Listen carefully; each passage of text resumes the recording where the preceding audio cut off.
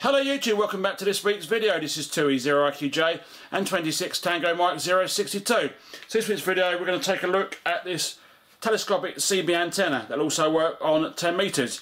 So let's get right to it.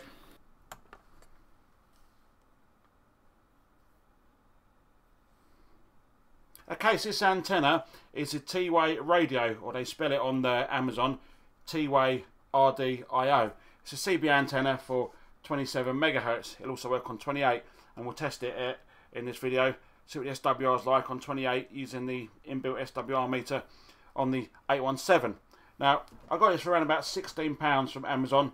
There's loads of different ones on there, but should work better than this one. This is the Albrecht extension antenna I got for the Albrecht 2990 ASF. So we're taking out the packet.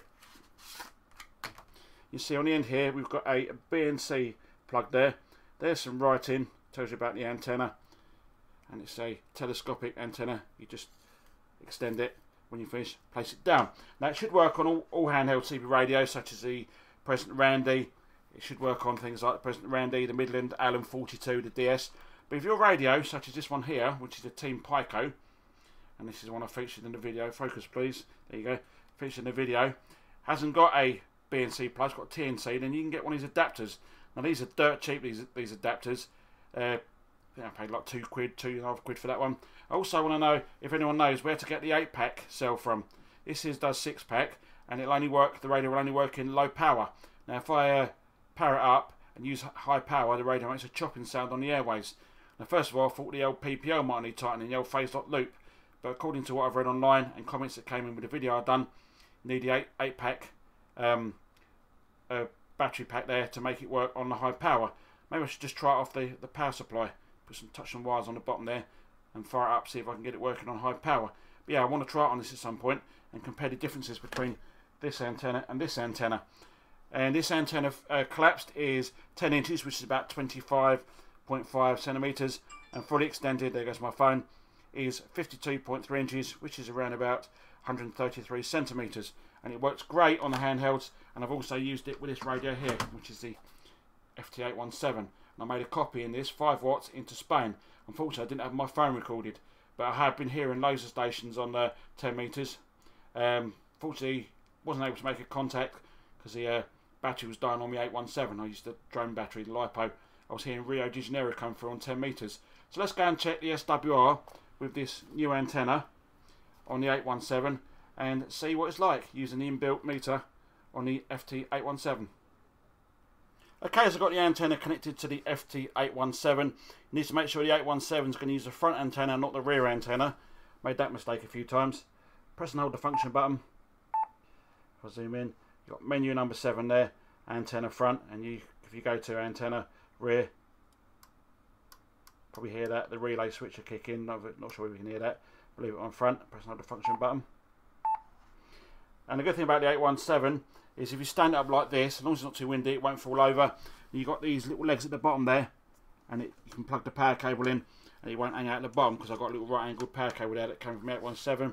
And I finally got round to soldering the connection back up. Not the best of jobs, but it'd do. Works for me. I need to put some heat shrink around there and uh, cover this up completely, which probably work better. I'm using the power lead I got with me 817. If I find another power lead at a boot sale and uh, fits in the back here. I'm just going to buy, buy the power pack, chop the end off, and just use the cable.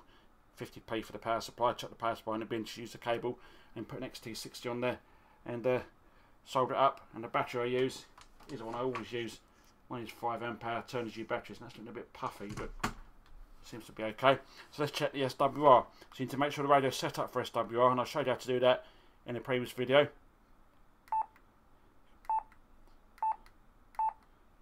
Let's check it for the SWR. Now you see here I've got S8 and noise floor. I get a lot of noise floor around here. But yet below 7 megs, so 80 metres and below, uh, seven, uh, 40 metres and below, the noise floor disappears. Don't ask me why. I can turn the auto gain control off on this radio and the noise disappears, but the audio quality coming through is absolutely horrendous. You can't hear a word they're saying. So make sure I'm not keying over anyone. No, that's just, just noise. Let's check the SWR. We're on upper sideband 28 460 decimal 94 that'll do 2E0 IQJ testing, 2E0 IQJ testing. You see there, the SWR is barely moving, two to three three bars. Now if you hold it, the SWR comes down even further.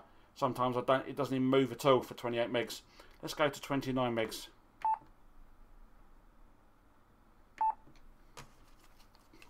And we'll stick it straight on FM, see what the SWR is like. You see there, noise force gone right up to S+. plus. It's not no good round here. So we're not keying over no one. And uh, give it a test. 2E0 IQJ testing. You see there, the SWR went right up. Let's go right towards the end of the band.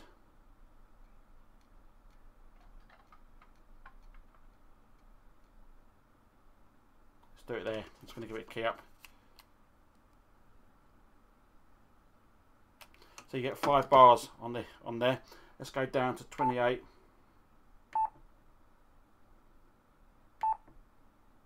Go right down and we go as low as I can get it. So 28 dead on.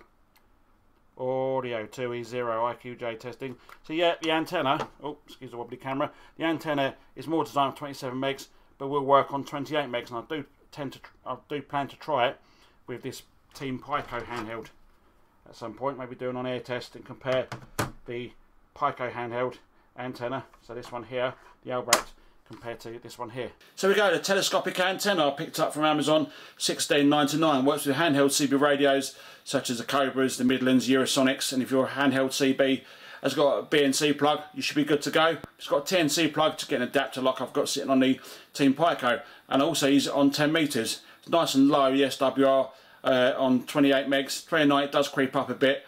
But when you hold the radio, the SWR does come down, and I plan to use it when the warm weather comes in on 10 metres to see if I can make any contacts. I have done one contact, uh, 5 watts into Spain, but I didn't have my phone with me to record. Um, so it would have been good to get that on this video. Should perform better than this antenna. And this is the Albrecht antenna that I bought. This was about 19.99. So this cost more than this one. The good thing about this one is it's telescope a bit more flexible, but you can't collapse it down. Uh, this one, always worried about these antennas when you collapse them down, you're going to break them. But if you do it nice and slowly, carefully, you should be good to go. I do want to do a test between this antenna and this antenna on 10 meters as well because I can put this on the 817 and also do, want to do it on the Team Pico handheld so I can put these both on the Team Pico handheld and do a test. Hopefully the, the Cuban gives a hand with that one and he can send some video over and we can see what performs better, this one or this one. Anyhow, if you found the video of some use, you know what to do, give it a thumbs up. But would I recommend this antenna? Yes, I definitely would for 16.99 it's definitely worth trying on your handheld to see if it improves the range. You can even turn a, a CRT1 or one of them little mini CB radios into port pack. I'll try that at some point. But yeah, definitely recommend this antenna. It's nice and cheap. Anyway, thanks for watching. I'll see you in the next video. 2E0IQJ, 26 Tango Mike 062, and the Viking saying 7-3 for now.